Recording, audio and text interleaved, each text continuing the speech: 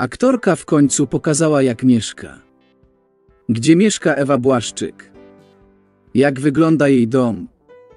Ile ma metrów? Dom Ewy na warszawskich Bielanach jest wspólnym dziełem aktorki i jej nieżyjącego już męża Jacka Janczarskiego. Oboje lubili ciepło, szczególnie klimat Morza Śródziemnego, w domu lubili czuć luz, bez zbędnych, sztucznych form. W ich domu zawsze było i jest miejsce dla sztuki i zwierząt. Jak wiadomo, oprócz działalności artystycznej i niezliczonych ról teatralnych, filmowych i serialowych, Ewa jest niezwykle zaangażowana w działalność charytatywną.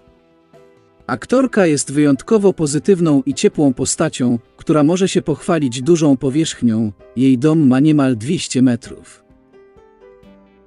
Mieszkanie Ewy to prawdziwa kompilacja stylów i kolorów. Choć na ścianach dominuje biel, meble i dodatki wnoszą koloryt i nieco szaleństwa. Aktorka zdecydowała się zarówno na drewnianą, dużą szafę, jak i nieco ekstrawaganckie kolory. Biurko to nie jedyny element mieszkania w odcieniu czerwieni.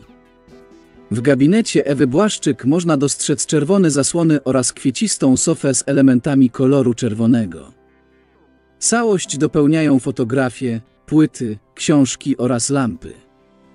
I choć nie da się ukryć, że wyjątkowy klimat tego miejsca tworzy w dużej mierze sama gospodyni, to mieszkanie Ewy jest dowodem na to, że nawet łącząc wiele stylów i z pozoru niepasujących do siebie kolorów można osiągnąć ciekawy i wyjątkowy efekt. Jak Ci się podoba?